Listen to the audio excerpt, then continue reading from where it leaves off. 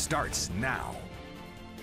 I've shed a lot of tears because uh, I'm hurt, I'm angry. It was very hard and difficult for, for us to watch.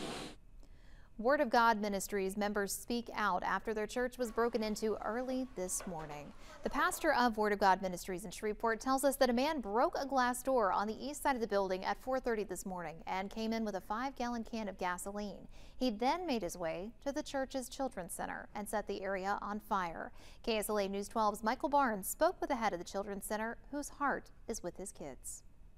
It was very hard and difficult for, for us to watch. As members of Word of God Ministries watched video of their church vandalized, they were devastated. I've shed a lot of tears because uh, I'm hurt, I'm angry. Angry at a person who broke in during the middle of the night, dousing the church's children's center with gasoline and lighting it on fire. For somebody to take it upon themselves to come up here in the middle of the night and try to destroy something that brings these children joy upsets me deeply.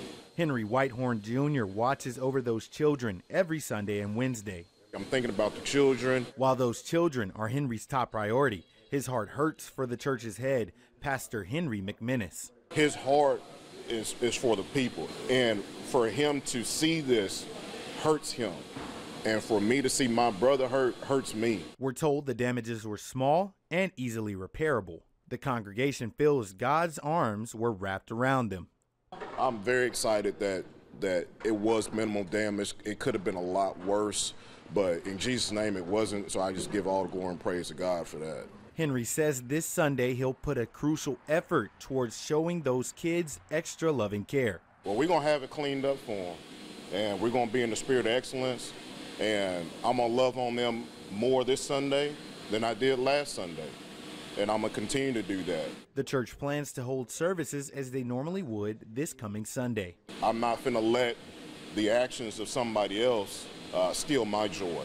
Michael Barnes reporting, KSLA News 12.